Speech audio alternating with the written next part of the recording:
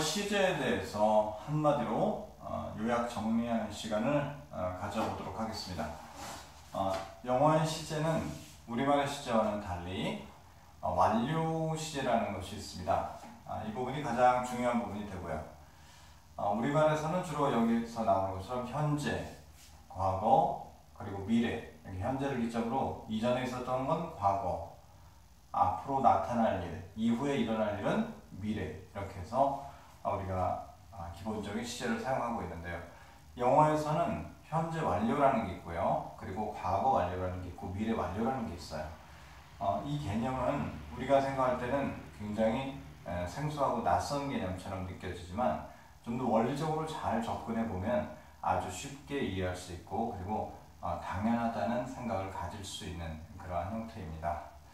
자 먼저 우리 현재 완료부터 한번 살펴보기로 하죠. 예를 들어서 우리가 현재가 it죠. 그리고 과거는 ate죠. 그리고 미래는 will eat가 되겠죠. will. will이란 말이 들어가겠죠. 그러면 먼저 현재 완료부터 살펴보자면 현재 완료는 과거에 일어난 일이 먹었던 것이 현재까지 영향을 미치는 경우에 쓰는 말이죠. 잘 보세요. 여기에는 have라는 동사가 들어갑니다. 우리는 have를 조동사라고 얘기를 하는데요. have라는 말의 원래의 뜻은 뭐죠? 그렇죠. 가지다 라는 뜻이죠. 가지다. 가지고 있습니다는 언제? 현재죠. 현재. 얘는 현재예요. 현재. 가지고 있어요. 근데 뭘 가지고 있냐? 과거 완료의 현재 완료에 이 뒤에 나오는 이 부분은 바로 과거분사죠. 과거분사가 뭐라 그랬어요? 어, 현재, 동사 현재형은 현재, 과거형은 과거, 그리고 과거 분사는 과거에 이미 되어진 상태를 나타내 준다라고 이야기를 했고요. 잘 들으시면 이루어진 상태, 그 이루 언제까지 이루어진 그 상태를 설명해 주는 형용사의 기능을 하는 것이 과거 분사인데 자, 다시 과거를 변형시켜서 형용사의 역할을 해주는 것이 과거 분사인데 자, 형용사는 명사의 자리에 갖다 딱 넣어주면 명사처럼 사용할 수 있다라는 것을 지난번에 한번 공부를 했었죠. 형용사는 명사의 자리에 딱 갖다 놓으면은 그 상태를 그대로 설명해주는 명사처럼 사용이 돼요. 그 개념으로 보자면은 지금 내가 가지고 있는 것은요, 현재 가지고 있는 것은요, 이미 이루어진 과거에 이루어진 상태를 가지고 있는 거예요. 그렇기 때문에 내가 과거에 먹었, 먹었던 것이 현재까지 영향을 과거에 먹었던 것이 현재까지도 영향을 미쳐 가지고 있는 상태 이게 바로 현재 완료가 되겠죠. 그렇다면 과거 완료도 간단하게 생각해 볼 수가 있죠. 과거에 먹었던 상태가 있어요.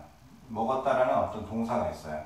그러면 이 과거에서 그 이전에 있었던 일이 이 과거 시점까지 영향을 미치기 때문에 여기 과거라는 이 시점, 이 시점에서 지금 가지고 있는 것은 그 과거 이전, 과거 이전에 이미 이루어진 어떤 것의 상태를 나타내 주는 것을 가지고 있다. 즉, 과거 이전에 일어난 일을 과거라는 시점까지 가지고 있으니까 이거는 과거 완료의 개념이 되는 거죠.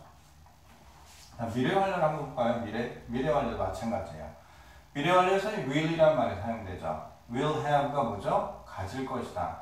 근데 뭘 가지냐? 이미 먹은 상태를 가져. 이거는 미래에 그런 일이 있을 것이라는 것보다는 미래 완료됐다는 것을 강조해주는 개념이 들어가는 거죠. 그래서 그때쯤이면 먹었을 것이다. 먹었을 것이다. 먹은 상태를 가지고 있게 될 것이다. 라는 미래 완료의 개념이 만들어지게 되는 거죠.